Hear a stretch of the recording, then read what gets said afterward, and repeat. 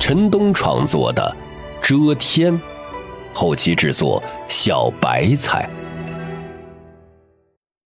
第八十四集：阳木与阴坟。叶凡自语：“很像自然天生的东西。”吴清风老人曾经说过，有些重宝内部有天生的道纹，并不是人为积累上去的，与众不同，不可复制，是其强大的根本所在。难道真是天生的道纹？叶凡不能确定，他对道纹了解不多，只是心有疑惑而已。突然，叶凡感觉到一阵奇异的波动。他发现前路被截断了，迷迷蒙蒙看不到尽头，有阵阵的诡异雾气笼罩在前方。与此同时，他听到了青椒震天的咆哮声，黄谷世家姬家的大人物乘坐黄金古战车一冲而过，肃杀之气席卷这片崇山峻岭。暂封废墟，任何人都不得离去。九蛟拉车。横断前路，姬家的大人物在山川地脉上刻下无尽道纹，截断了前路。另一个方向，九头麒麟兽拉着一辆玉辇，腾云驾雾，神威滔天，阻断了东方。同一时间，其他几个方位也传来阵阵相似的喝声。几位大人物将废墟封锁，不准任何人离去。叶凡心中一惊，感觉有些不妙。他急忙停了下来，不再运转道经所记载的玄法，金色的苦海归于平静，而后消失了。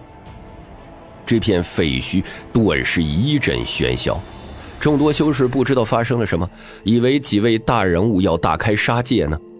发生什么了？为什么不让我们离开？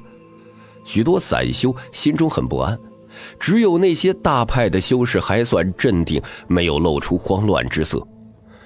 东皇人族之宝一直没有显现，几位大人物慌了。没错，阻断去路，是派人携宝而去。这五位大人物都无法寻到东荒人族至宝，其他人有可能得到吗？众多修士是一阵议论。当得知是为东荒人族至宝而封困了这里，大多数人都心安了下来。他们本来就对至宝没有抱什么希望。五位大人物在山川地脉上刻下道纹，封锁四方，而后回到了妖帝坟冢崩碎的地方，重新开始搜索。我东荒人族的至宝怎么无声无息？妖帝坟冢崩碎后，应爆发出惊天动地的气势才对。五位大人物低语，他们并没有密语，根本无需掩饰。荒塔到底在何方？为何不出世？失踪上万年了，荒塔真的该重现世间了？为什么不见踪影？远处，众多修士凛然，几位大人物显然志在必得。如果不能够寻到这件至宝，真不知道要封锁到何日。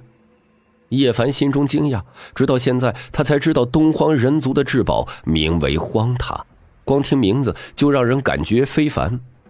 许多大派的修士在议论，谈起这宗至宝的过去。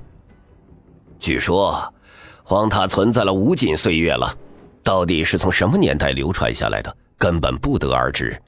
相传，与东皇同在，在这片浩瀚无垠的大地上，更有生灵时，荒塔就存在了。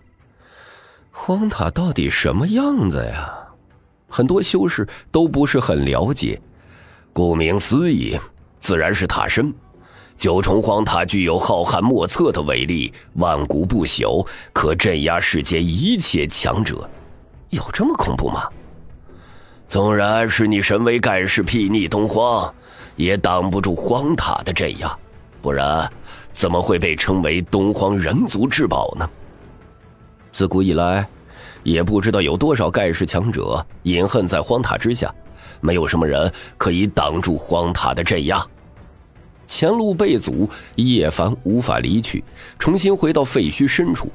听到那些修士的议论，他一阵身亡。荒塔如此逆天，实在是让人心动。就在这时，无良道士段德出现，快速的向叶凡这里冲来。整个人快燃烧了起来，速度达到了极致。刹那来到眼前，他满脸激动之色。哎，那块废铜呢？扔水潭里了。什什么？无良道士满脸惊色，而后无比焦急，抓住叶凡的双肩，用力摇动。哪儿哪儿哪儿个水潭？我去啊！叶凡顿时心中一动，难道这绿藤大有来头不成？初时，他还以为与东荒至宝有些关联呢，但当知道荒塔为九重塔身后，他立刻明白，绿藤根本不可能是东荒人族的至宝，与塔完全不沾边废墟这么大，到处都是密林与山峰，我早已转向了，都忘记自己走过哪些地方了。不行。你一定要想起来！无良道士的脸色有些可怕，双目都已经充血了，抓住叶凡不放。不就是一块烂铜吗？你反反复复看了足足一刻钟，但最后自己扔在地上，怎么现在又想寻找了？那块废铜有什么来历不成？说了你也不懂，现在赶紧给我找找！无良道士没有笑容，此刻严肃无比，拉着叶凡就走。叶凡心中了然，看来那神秘的绿瞳果然来头不小，似乎极其重要。无良他妈的个天尊，贫道怎么这么手贱？到手的东西让我给扔了出去！这胖道士脸色铁青，悔恨与懊恼无比，与不久前笑眯眯的样子大相径庭。叶凡心中凛然，感觉这无良道士现在有杀人的冲动。他不想往刀尖上撞，老老实实的向前走去。小友，你一定要仔细回想，如果能够找到那块绿铜，你想要什么，我给你什么。胖道士脸色严肃，郑重的叮嘱：“一定要好好的回想起来。”那到底是什么东西啊？别再问了，再问的话，道爷我就要疯了。胖道士狠狠的拍了一下自己的右手。我怎么这么糊涂？一辈子寻宝，到头来却这样的有眼无珠啊！看得出他非常的自责，没有一点做作，恨不得将自己那只手给剁下来。我们是在这里分开的，然后我便看到你一直向远处跑去。胖道士将叶凡带到两人分开的那座山峰。对啊，是这里。我想想啊，走过哪些地方？叶凡不紧不慢的向山下走去，无良道士紧紧跟随，并不催逼，任他慢慢回想。叶凡走得很慢，他在思索怎么才能够摆脱这个胖道士。不知不觉间，两人翻过了三座山岭，就在攀上第四座山岭时，叶凡露出喜色：“是这里。”看着他手指的方向，胖道士的脸顿时难看了起来。这座山岭上有一个黑黝黝的深潭，寂静如石，没有一丝波澜，透出阵阵让人心悸的寒气。别告诉我，你扔进这深潭里了！胖道士的双目露出妖异的光芒，顿时让叶凡心神一阵恍惚。他隐约间觉得不妙。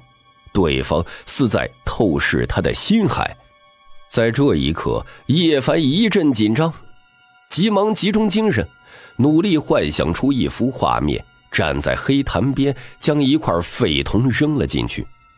胖道士的双眸恢复了正常，咬牙切齿：“你这个败家子，我恨不得把你扔进去！不就是一块破铜烂铁吗？”叶凡一脸满不在乎的样子。胖道士直接一个猛子扎进了深潭中，初时水下还有神辉闪烁，但不久之后便暗淡无光了。黑黝黝的深潭渐渐的恢复了平静。叶凡等了足足两刻钟，也没有见无良道士来。这缺德胖子，该不会是在下面遭报应了吧？又过了一刻钟，水面哗啦一声轻响。胖道士浑身结了厚厚的一层黑冰，像是一座冰雕一般冲了出来。